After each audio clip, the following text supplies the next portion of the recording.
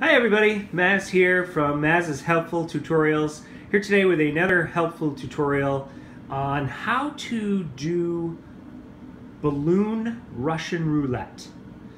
Uh, I'm going to show you the setup, and then I'm going to take a little break, and then we'll come back when we're ready to do the game. As you can see, we got some balloons here. Red Robin was nice enough to uh, give us some after dinner tonight. We're going to fill one of these balloons up with some of my shreddings from my paper shredder. Come to think of it, this would probably have been a much better idea for uh, the spaghetti confetti. That might have worked a lot better. But hindsight is 2020. So that's the setup. I'll be back in a minute when we're ready to play the game. Oh, and a pin. Thanks. Back in a minute. All right, everybody, we're back that was a little bit harder than I expected it to be. Uh, we actually started with four balloons and we broke one of the balloons trying to fill it up with the confetti.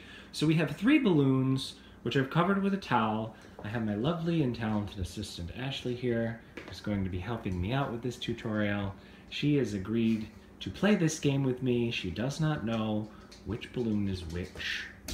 Um, and she and I are going to play this game we will hold it in front of our face and the other person will then pop it. So, um, Ashley, I'm going to go first. Is that right? Yep. And I don't know where they, which one is which either. I am going to select this one.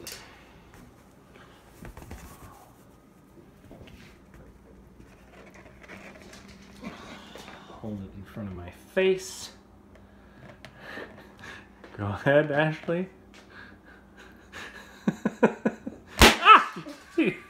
All right.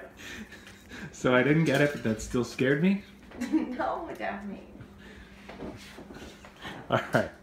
Now it's your turn, Ashley.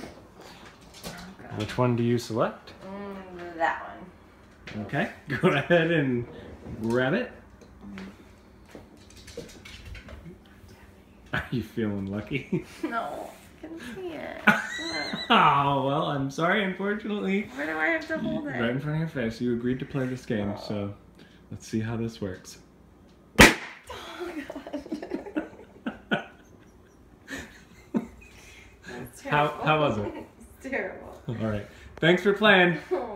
Thanks, Daphne. All right, everybody. Until next time.